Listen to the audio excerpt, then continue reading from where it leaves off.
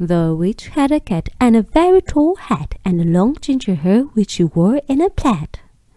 How the cat purred and how the witch grinned as they sat on their broomstick and flew through the wind. But how the witch wailed and how the cat spat when the wind blew so wildly it blew off the hat. Down!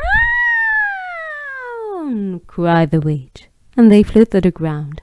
They searched for the hat, but no hat could be found.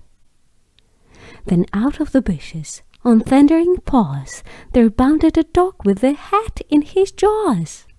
He dropped it politely, then eagerly said, as the witch pulled the hat firmly down on her hat, I'm a dog, as keen as can be. Is there room on the broom for a dog like me? Yes, cried the witch, and the dog clambered on. The witch tapped the broomstick and whoosh! They were gone.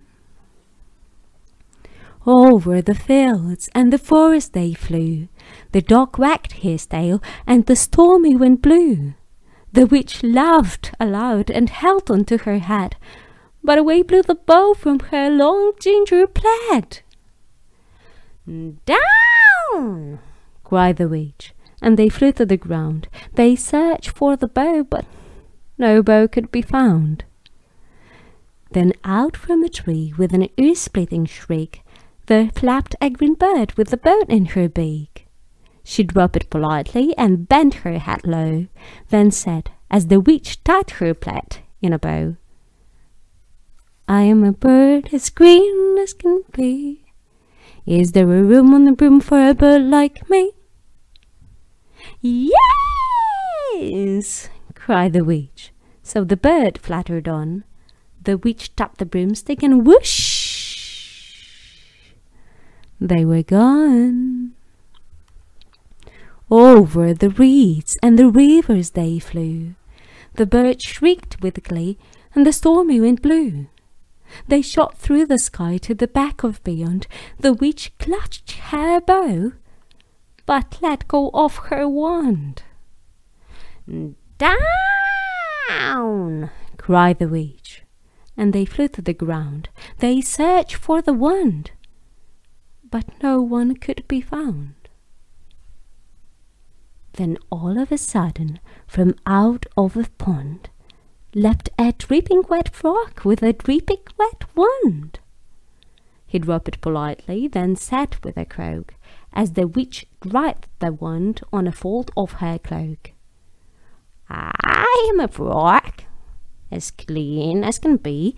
Is there room on the broom for a frog like me? Yes, said the witch. So the frog bounded on. The witch tapped the broomstick and whoosh! They were gone.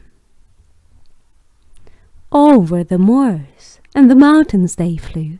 The frog jumped for joy, and the broom snapped in two.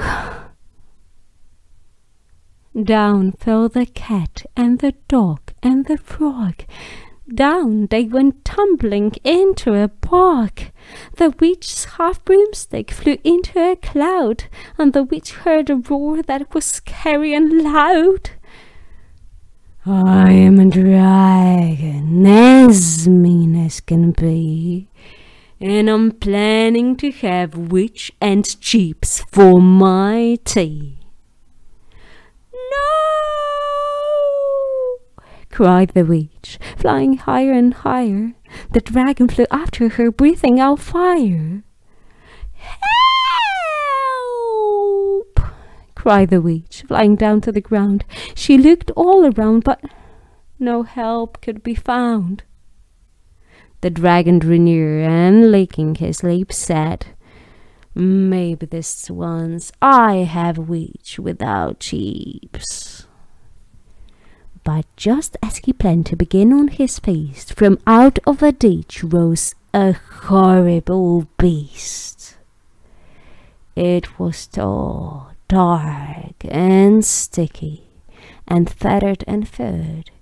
It had four frightful heads, it had wings like a bird, and its terrible voice, when it started to speak, was a yowl and a growl and a croak and a shriek. It dripped and it squelched and it strode from the ditch, and it said to the dragon, Basil! That's my witch. The dragon drew back, and he started to shake. I, I, I'm sorry, he spluttered. I made a mistake. It's nice to have met you, but now I must fly. And he spread out his wings and was off through the sky. Then down flew the bird, and down jumped the frog, down climbed the cat, and said the dog, and Thank you, oh, thank you, the grateful witch cried. Without you, I'd be in the dragon's inside. Then she filled up her cauldron and sat with the green. Find something, everyone. Throw something in. So the frog found a lily, the cat found a cone, the bird found a twig, and the dog found a bone. They threw them all in, and the witch stirred them well, and while she was stirring, she muttered a spell. Iggity, ziggity, zaggity, zoo!